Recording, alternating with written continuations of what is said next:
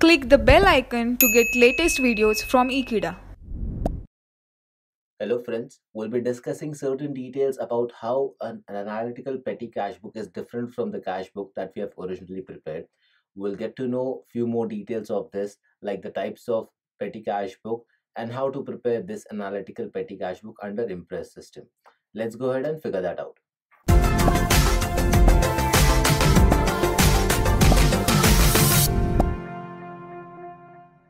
Analytical petty cash book. Now this cash book itself states or probably talks about the type of cash book. We'll first discuss what we have when we talk about petty cash book. So, what do you mean by the word petty? It basically means all small things. We always keep on saying this is a petty issue or this is something really, really petty. So, when we talk about petty things, that means we are basically talking about small things or trivial things or trifle things basically. So when we talk about petty cash book we are ideally talking about small expenses for any kind of organization that keep happening on day in day out basis. So now we have already discussed or we have already got to know that what petty means. So when we talk about the cash book system we basically talk about the analytical cash book or the cash book that we are talking about when it comes to any kind of cash transactions. So when we talk about cash transactions, we basically have a cash book. Similarly, we have all small expenses maintained in a petty cash book. When we talk about expenses of cash book, there are two kinds of variants. One, that are large transactions. Second, that will be petty transactions. That means small transactions.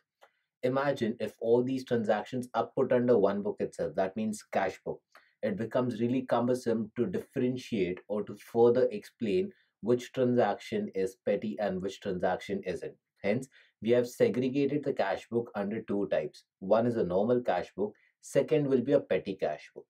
Now, we'll be discussing today about petty cash book itself. I've jotted down certain points for you, for your reference rather. We'll go ahead with each of those points and understand in detail what petty cash book really means and what is the definition and probably at the ideology behind maintaining a petty cash book. Let's go ahead and figure that out.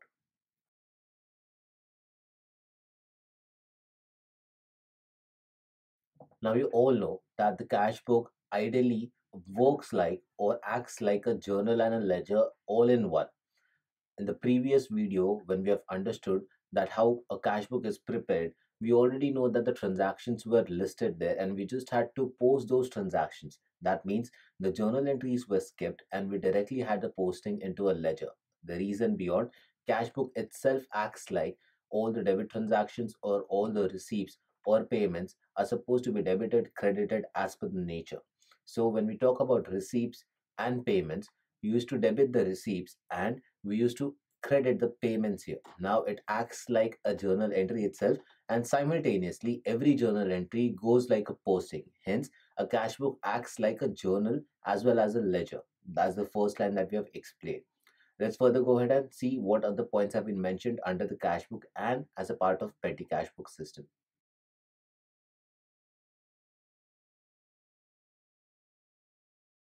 Petty cash book records transactions which are really small. That means we can call them as small transactions which are recorded under petty cash book. So when we talk about petty cash book system, we ideally talk about what are the kind of things that we're supposed to record under this cash book system. When we talk about cash book system, we can record n number of transactions, but out of those n number of transactions, we have certain small transactions which happen or which happen on recurring basis. That means certain expenses like day-to-day stationery, day-to-day postage, day-to-day courier charges, all such expenses are on recurring basis. And all such expenses are done in cash which are of very small amount. So when we talk about petty cash book system we ideally put in all these details under this category. We have mentioned certain examples below. Let's go through it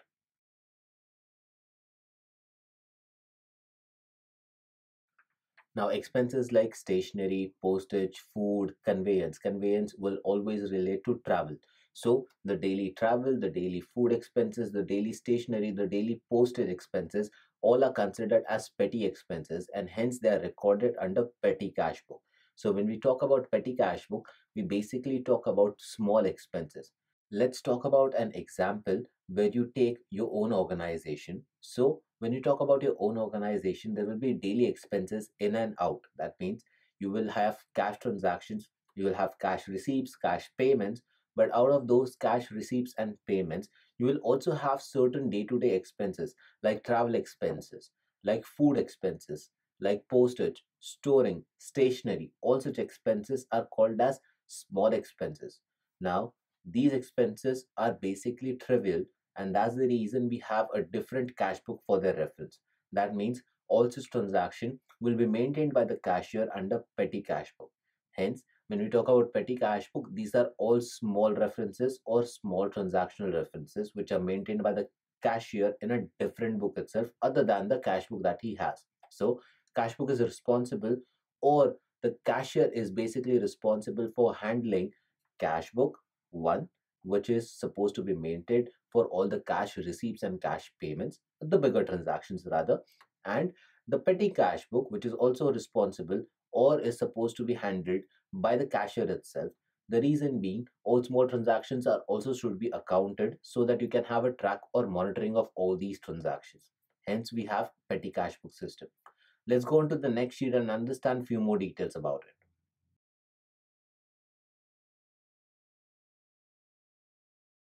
Just like in Cashbook, how we record all our transactions in a specific chronological and systematic way, similarly in Petty Cashbook, all such transactions will be recorded in chronological and systematic way. Let's take for an example, if you have 10 transactions which are petty lined between 1st to 20th of April of any year. So you'll have to record the first transaction, that is the transaction that happened on 1st April 1st, and after that following dates that means 2nd 3rd 4th april 5th april so transactions maintained in a specific order like day to day wise. That's the reason i'm emphasizing on the word day to day. 1st april transactions that have happened you'll be recording that transactions in one specific column. Next the next specific day transaction will be recorded and so on. It will go until 20th of april as because the example that relates to 1st to 20th of april similarly for the week transaction or for the month transaction, you'll all record them into chronological way and in a systematic order. That will help you to further analyze the transactions that are happening on weekly basis, the transactions that are happening on fortnightly basis in case if you have to compare these details. So that's the reason it is supposed to be maintained in an analytical and chronological order. Let's further go ahead and see what are the points have been listed down.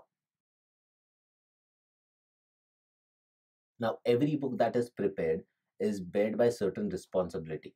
The person who prepares this is responsible for the quick and efficient in a flawless preparation of these details.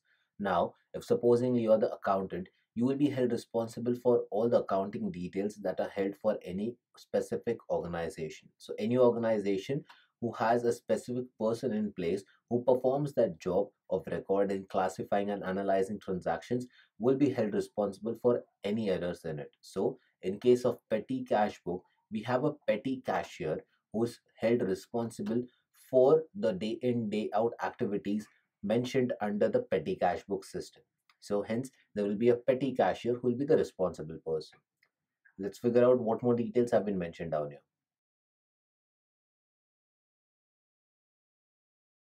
Now, what are the reasons why we have a petty cash book different as compared to the normal cash book? There are different advantages of its own. The reason why we have impressed or probably enhanced the petty cash book system or we have implemented the petty cash book system is with the sole purpose that there are different advantages because the first reason being it is a cumbersome and tedious process whereby if you record all the transactions no matter whichever transaction they are but all the cash transactions without segregating them into petty and bigger transactions in one simple book. If you do that part, or if you are doing such part, then in such cases it becomes a tremendous or voluminous options or probably the number of transactions are too much because it is not the matter of fact that no matter how small your organization is there are going to be numerous transactions which are dealt in cash hence when we talk about numerous transactions which are dealt in cash and which are supposed to be accounted for our reference, hence there will be a lot of transactions going under one book. To ease up this process and to ensure that all the big transactions of the business are kept in a different book of account and similarly all the small transactions which are day in day out transactions are kept in a different book of account with the only ideology to ease up the process or to ease up references in near future if you have to go back in the future or probably if you have to go back in the past and figure out what all details were mentioned as a big transaction and small transactions so that you can easily monitor or track all the big transactions on one side and all the small transactions on the other. That becomes easy when you have two set of different books. Had it been if you clubbed these transactions into one it will be very difficult for you to analyze because then you have to manually segregate those transactions and then you have to compare which is again a time consuming process so let's go through the advantage that i mentioned down here and we'll have brief description of it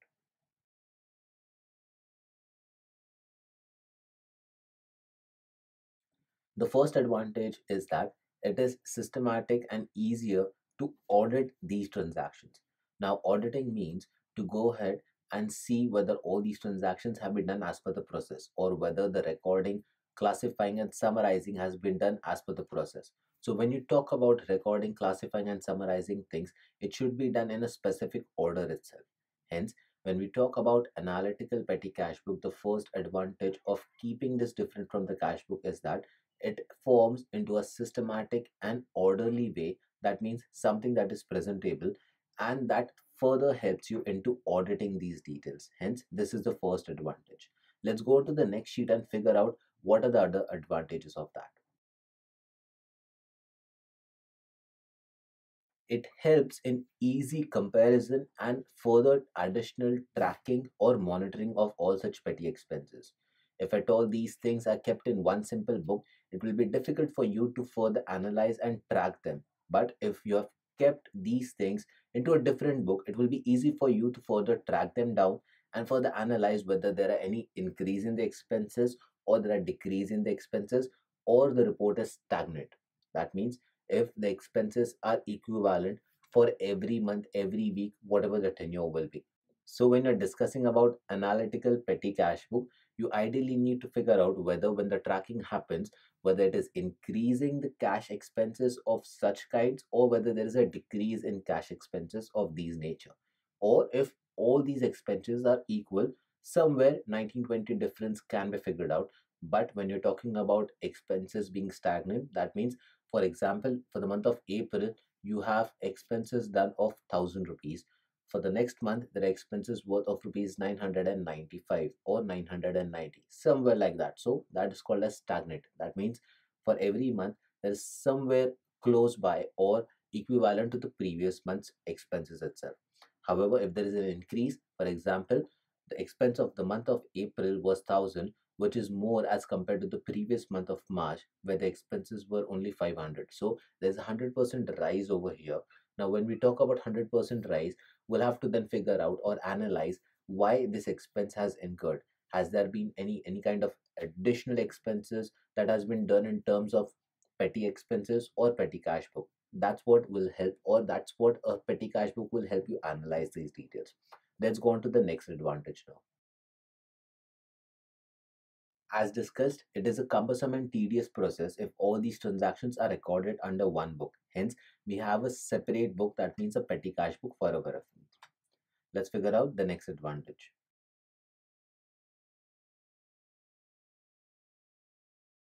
It makes the specific cash book less voluminous and more informative. If at all, all these or all these petty transactions are removed out from the cash book and kept into a different book altogether, the cash book will look less voluminous because there are already number of transactions that go through cash book. And if you're adding these transactions also to it the quantity of transactions or the number of transactions will increase which will further increase your work of analyzing. Hence if you're recording all the transactions of cash book related stuff itself within the cash book and keeping all petty cash book different the first advantage is that the cash book becomes less voluminous and more informative and it will give you more details about what are the basic transactions that are happening day in day out about the cash flow. So when we talk about the cash flow these expenses have major effect on cash flow as compared to the petty expenses. However both these cash books require adequate tracking so that none of the cash book takes a toll on the other one. If an example has to be given here if petty cash book transactions are increasing voluminously and there is no tracking or control on that, that means the cash flow will have certain effect on it and that is supposed to be controlled. Hence, we have two different books when we have to compare these two things. Now let's understand the types of systems that we have under cash book or under petty cash book here. Now under petty cash book, we have a normal cash book and we have an analytical cash book system which has a subclause of imprest system. So we'll first understand what normal cash book is. A normal petty cash book will be something which is very similar to recording all the receipts and all the payments. So if you have all the receipts and payments, you will then tally whether the amount of the petty cash book that you have is equivalent to the receipts that has been done. So basically, all the payments that have been made for the month of April or for any month specifically shows or gives out all the small expenses and how much reimbursement is supposed to be done. All these expenses will be maintained under one specific book itself. That means normal petty cash book. However, we'll have different analytical cash book system which has different type of systems within it. Now we'll be discussing about that part itself as the chapter or the subject or the topic line refers to analytical petty cash book under Imprest system. Let's go ahead and figure out in the next sheet.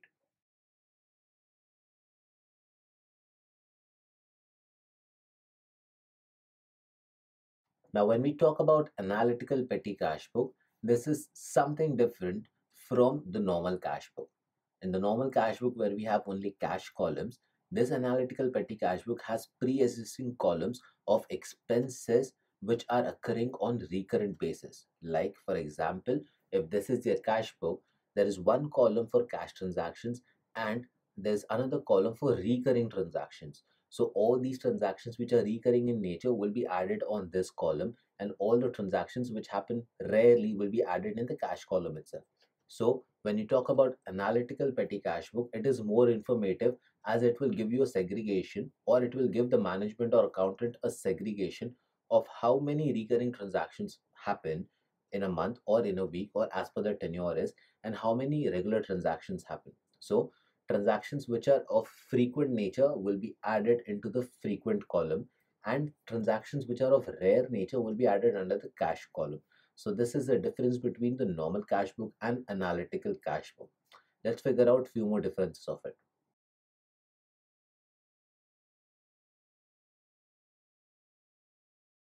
The next part is that it is time saving in nature because all these transactions are recorded under one book itself that is petty cash book with different columns though whereby frequent transactions are recorded under one column and regular transactions are recorded into a different column. So when this happens when we talk about these expenses then it becomes very easy for us to analyze how many management transactions or how many transactions the management can figure out that is recurring in nature and what are the expenses going on in it. And similarly what are the regular transactions like the big transactions which are affecting the majority of the cash flow. Hence this gives you the proportion of what is the ratio as to recurring transactions and non-recurring transactions which can further help the management to make any further decisions if they have to increase the imprest system or probably if they have to increase the cash flow with terms of petty cash. So this is the basic reason why we have analytical cash book or analytical petty cash book which has pre-existing columns. Now let's go on to the next sheet and understand few more details on that part. Now that we know that analytical cash book is different from the normal one because of one single column that is existing there which incurs or which has details about recurring imprest or recurring cash systems or recurring cash transactions. Now we'll understand what imprest system basically means. We've mentioned down few lines.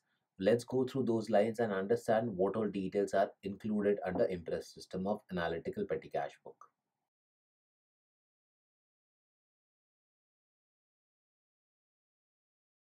under imprest system basically this is the secondary system the primary system is analytical system itself however apart from that there is a secondary system to it which is known as imprest system so when we talk about imprest system we basically talk about the different kind of method or the different kind of approach we have when we have to handle petty cash book now under this method the cashier is provided with lump sum amount in the start of the month. Now it can be the start of the month, the start of the week, whatever the tenure is. So if you're taking petty cash book for a month, you will be giving some amount to the cashier at the start of the month. If it is for weekly basis, you will be giving certain amount for the week itself to the cashier. Now there are certain expenses that will happen and he will record all those transactions that are happening on frequent basis which are petty. Now this amount will be paid off from the balance that is provided to him. For example, if you have given him 1000 rupees and out of that 1000 rupees there are certain expenses for worth rupees 500 done for the week or for the month whatever the tenure is. According to that whatever amount has been paid out as expense will be reimbursed at the end of the week or end of the month the tenure as per. Now if it is as per weekly tenure then whatever expenses have been made for the week that will be reimbursed to him or that will be reimbursed to the cashier which will reinstate the cashier's balance. So if at the start of the week he was given 500 rupees and at the end of the week he has a balance of only 40 rupees. That means 460 rupees were spent in the week. At the end of the week the accountant will go ahead and tally that total and according to that itself they will be provided with 460 rupees as the expense that has been made for the week. And hence the 500 balance that means the 500 credit balance will be reinstated again. So whatever went down will be coming back up as a complete reimbursement is done here. Let's find that out in the lines mentioned down.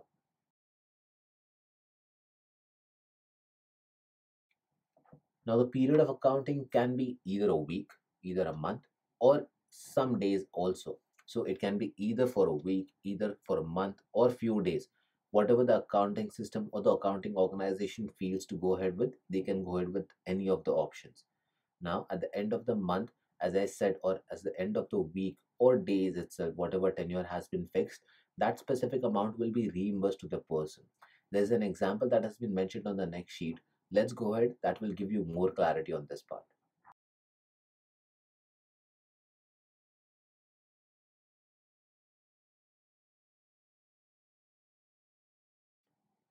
Now, before we go ahead with this example, let me tell you that the amount that is provided at the start of the month is also known as a float amount.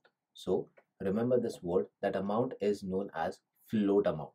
Now, for example, if the cashier has been provided by the accounts department a float amount of rupees 1000 as per mentioned in the example and he has spent that amount for the week for amounting to rupees 800 now at the end of the week if you are taking the tenure the balance with him is just 200 rupees so accounts department will go ahead and make sure that all the tallies are matching the expenses made and then it will reimburse the amount so that he can give back or he can get back the complete thousand. So the balance 200 that he had is this. Thousand that was given to him is here. The difference in between this will be reimbursed by the accounts department so that this balance can go back again to thousand rupees for the next week. Hence, this is how the imprest system works. There is one specific lump sum amount that is known as the float at the start of the month. There are certain expenses that are made within the month and at the end of the month or end of the week, whichever the tenure is, the reimbursed amount is given back to the specific cashier so that the same float amount can be reached and then again the next month expenses or next week expenses can be carried forward or further made from that specific float amount itself. So this is how example can be given.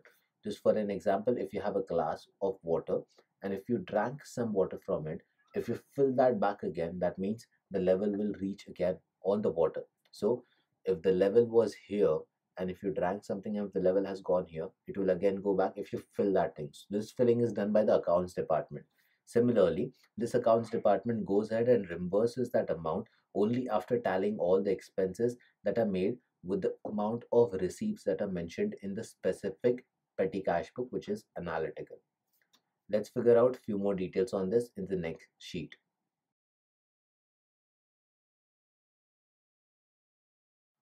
Now, as a recap of it, whatever we have studied right now, there is one thing that we need to mention. The system of petty cash book, we have only two systems, ordinary system and imprest system. Ordinary system records all the receipts of all the transactions that have been done.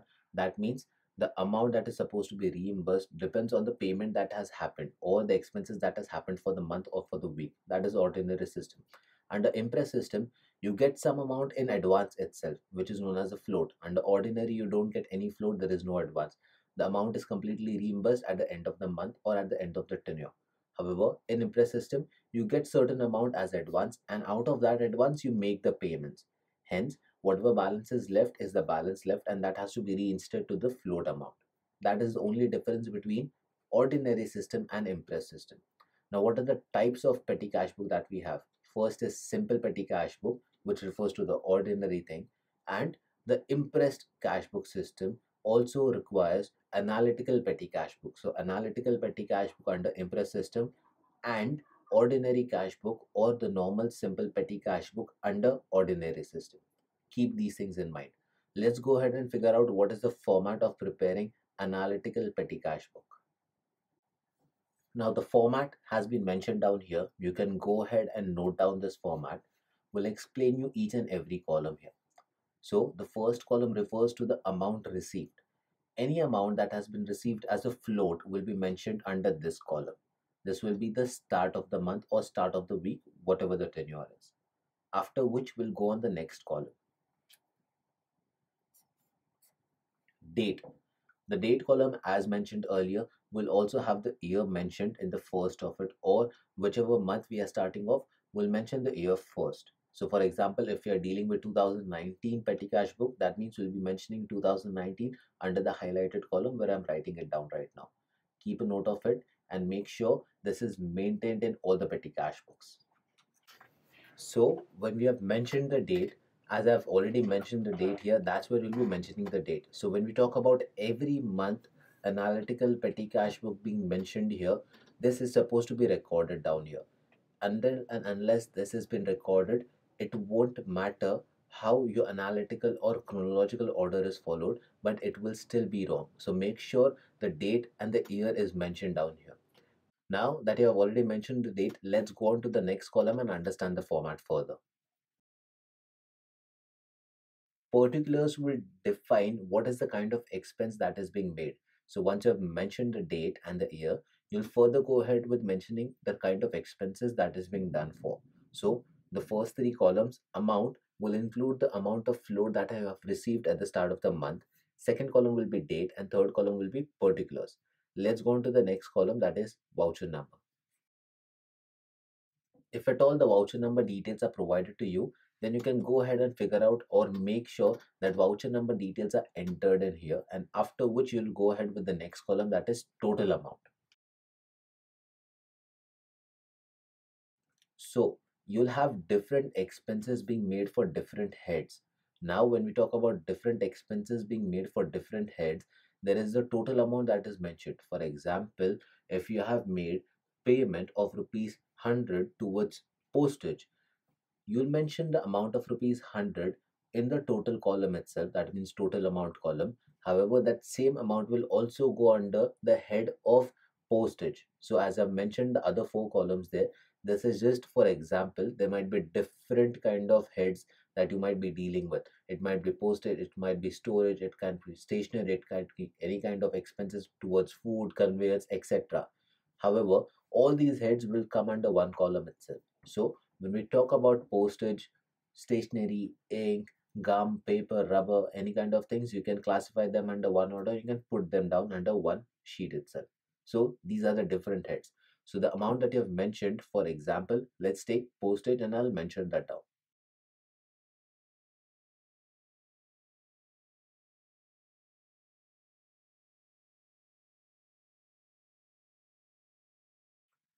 So in the question, if we have postage, in the question, if we have stationery, if we have food, conveyance or travel, then we have mentioned all the heads down there. You have to prepare this before you start with the answers. So if you have mentioned for postage or to postage rupees 100, that same amount will be mentioned under the postage column. That will give you the total of how many expenses have been made towards postage. This is the only reason why different heads have been classified further. So the amount that has been mentioned as 100 under the postage column is equivalent to the total amount spent towards it. Hence, the amount which will be finalized at the end of the week or end of the month will give you the total of the total amount that you have paid towards expenses out of the float amount and the different heads which will be further analyzed as to how much has been paid towards postage, how much has been paid towards stationery, how much has been paid towards ink, how much has been paid towards food, conveyance, etc. So the number of heads, that's the number of transactions or that's the number of columns that we'll be making. So we'll go ahead and further do one specific illustration which will give you more details on this. Let's go ahead and figure that out. The illustration says record the transactions under analytical petty cash book of Mr. Sushil. Now, Mr. Sushil is the person of whose we have to make the analytical petty cash book. There are certain transactions that are already mentioned under chronological order. You have to go and make sure that you note down all the heads and you note down all the transactions under analytical petty cash book. We'll be noting down this illustration. So let's go through each and every detail that has been mentioned so that you can also note it down and you can prepare the format in the meantime. It states on the 1st April 2013, cashier started with a float amount of 1500. That means the start or the opening balance was 1500 that he had. Out of that 1500, he has made certain expenses and that has been recorded beneath. So let's go ahead and figure that out or what are the transactions that have been mentioned here. Let's figure out the first one. On 1st of April, expense towards postage stamp of rupees 50 was made. Make sure you note down these transactions. Let's go on to the next one. He has also paid on 3rd of April sweeper salary or sweeper expenses rupees 25 he has paid that amount let's figure out what is there in the next date he has given conveyance to his manager that means travel expenses to his manager 457 rupees on 5th of april. That means he has paid something which is related to travel. Now let's figure out the next transaction that has been mentioned in the date below. April 6 telegram expenses rupees 66 April expenses that means telegram expenses rupees 44 has been mentioned down there. Let's go on to the next date stationery expenses on April 7 68 rupees lorry was hired on 10th of April for rupees 250 that means a truck or travel thing was hired for rupees 250 on April 10th. April 13th, cartage on goods sold rupees 75. That means some courier expenses, so some travel expenses was maintained on goods which was amounting to rupees 75. That has been mentioned down here. Repairs for cycle rupees 30 on April 18th has been mentioned. I hope you have recorded all these transactions now we'll go on the next sheet where we have different transactions related to this specific sum itself. Hence, we'll be going on the next sheet and we'll be seeing what are the details have been mentioned for all these transactions as it is for the whole month and not for few weeks. April 19th, Mr. Sushil has spent around service charges for rupees 75. April 22, ink and gum rupees amount 23 that means 23 rupees has been spent towards ink and gum on april 22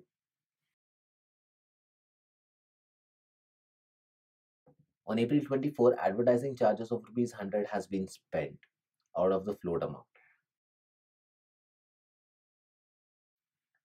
On April 27, subscription amount to some magazine or something has been paid of rupees 125. That means Mr. Sushil has given out subscription amount of rupees 125 which is related to any specific subscription that he might be having on April 28th. On April 27th, subscription amount of rupees 125 has been given by Mr. Sushil. This can be any amount which is related to subscription that Mr. Sushil must have opted for. Hence, on 27th of April, he has given out 127 out of this float amount. And the last expense, April 28, tea expenses rupees 12. I hope you have noted down all these transactions because after this we'll be going and preparing the format of analytical petty cash book under all these taggings. Let's go ahead and figure out the taggings first. So I'm getting back the old sheet so that you can go ahead with the travel reference or we can make down the taggings under one category.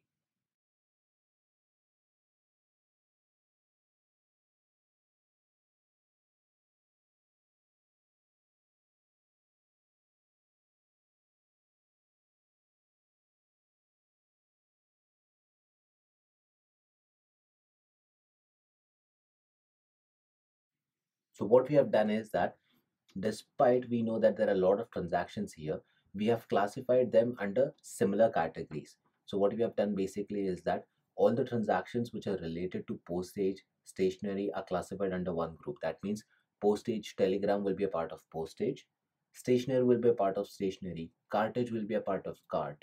However, any expenses that are paid towards sweeper, manager, any expenses that are paid for repairs will be classified as miscellaneous expenses because in a page here we don't have that many columns to prepare. However in your exam you will prepare every column for all these details. That means sweeper will have their own column. Travel expenses and conveyance to us manager will have their own column. However in this sheet as we have a restricted background hence we have mentioned this under different categories. Let's go on to the next sheet and figure out which categories do they fall into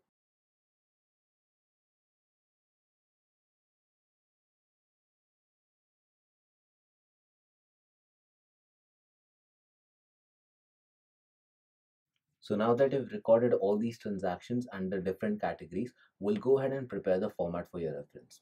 Let's prepare the format and in the meantime, you can also go ahead and prepare the format of your own. So we have different accounts that we have mentioned here. First being postage, second being miscellaneous, third being subscription, fourth being cartage, fifth being stationery, sixth being tea expenses which are also a part of miscellaneous. So let's down or let's note down here and then you can prepare the specific format. So the first one will be postage.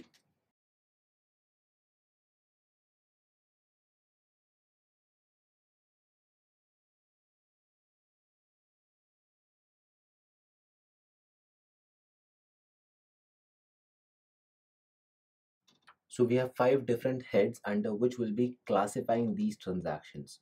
So let's figure out how to prepare the format and then we'll try and solve these questions. So now that we have prepared the format whereby we have all the headings highlighted, we'll go ahead and underline them so that you can have clear identification of them. Amount received is the amount that you have received as a float amount. The next will be date. After which we'll have particulars, which will include the description of the transaction. We have voucher number and total amount as the next columns and after that we have the five different heads for our references. That means postage miscellaneous stationery cartage and subscription.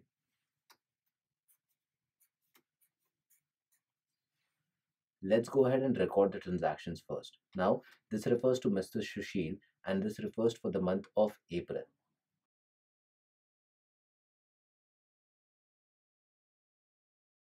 Now this refers to the year 2013 and for the month of April 1st. So on 1st of April, he started off with the amount of 1500 which will be received or which will be recorded under the amount received column. So let's go ahead and record that transaction there.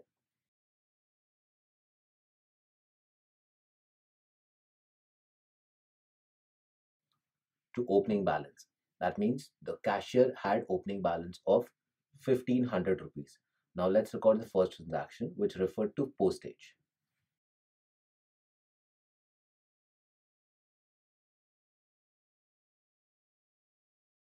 Now this transaction refers to postage or the stamps that were purchased. Hence, this specific transaction has been mentioned as to postage, total amount 50. Now, as this goes under the category of postage, we'll also record the transaction there. That means same amount will be mentioned under the column of postage. Let's go on to the next transaction, which refers to April 3rd. What do we have in there? We have sweeper charges that were paid out. Now, sweeper goes under the category of miscellaneous as we have selfly categorized them. So let's put the amount there and we'll mention that thing.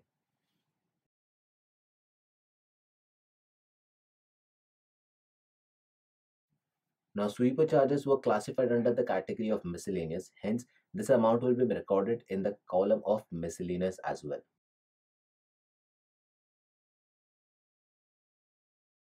Let's record the transaction which has been mentioned for the April 5th, that is 5th of April. We have recorded the transaction. We'll go ahead and mention that amount and see which category it falls into.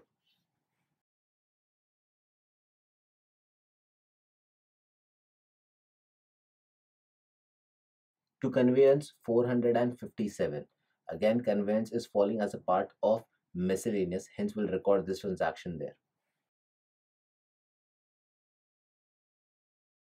Now on april 6th we have telegram expenses which we have classified under the category of postage. We'll record the transaction and we'll also record the same transaction under the postage category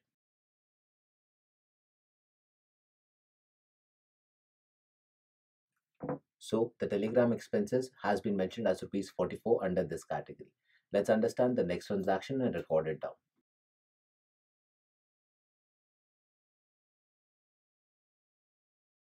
Now the next transaction refers to April 7 to stationery. Hence, we have recorded the amount under total column as well as under the stationery column itself.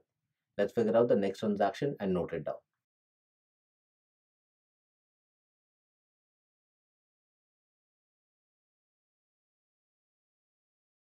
On April 10th, we had hired Lorry, and that was a part of miscellaneous expenditures. Hence, the total amount of 250 has been recorded under the total column as well and under the miscellaneous column as well. Let's figure out the next few transactions. So we'll record down the transactions until April 13th and then we'll go ahead with the explanation.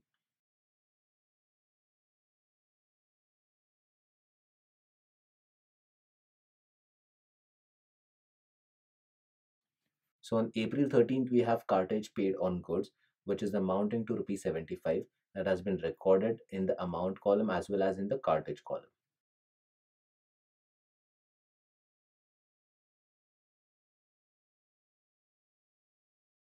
On April 18th, we have repairs for cycles made for rupees 30, which is a part of miscellaneous expenses.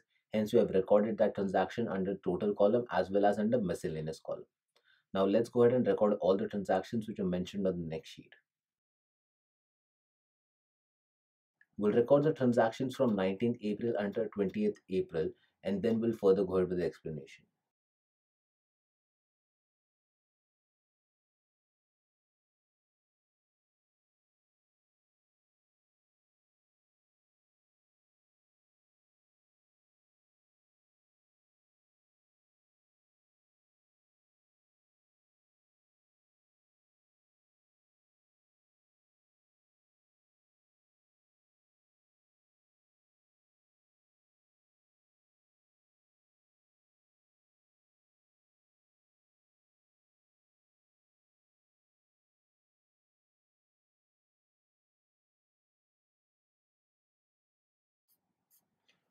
So now that we have recorded all the transactions from April 19th until April 20th, whereby they have been recorded in the total column as well and under the segregated column as well, we'll go ahead and total the amount which is the following or probably the total of all the total amounts. That means the total column has a total of certain expenses that has been made. We'll total that out and see how much balance has been left.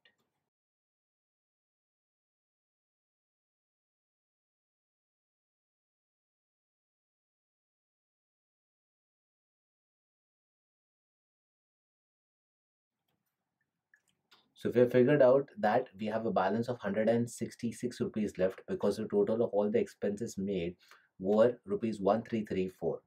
Now this 1334 is the total of balance that has been made or the total of expenses that has been made for the month of April. We had the starting balance of 1500 out of which 1334 is subtracted gives you the total of 166. So now this is the balance that is left which will be carried forward in the next month and again the amount reimbursed will be added up to it that means 1334 will be added and hence we'll have the starting point as 1500 again. So I hope this is pretty clear how an analytical petty cash book is prepared under imprest system whereby you have certain opening balances you have certain expenses made the total of all that expenses is subtracted from the opening balance and whatever balance is left is carried forward to the next month. Hence in the next month the amount of expenses which has been made in the previous month will be reimbursed and the total of imprest balance will be reinstated. That means the total of float will be reinstated. This is how the analytical petty cash book system is supposed to be prepared with total amounts and different heads under which you can classify them and further go ahead with the preparation of that if in case required you can also total down the different heads that we have followed. Let's go ahead and total the amount there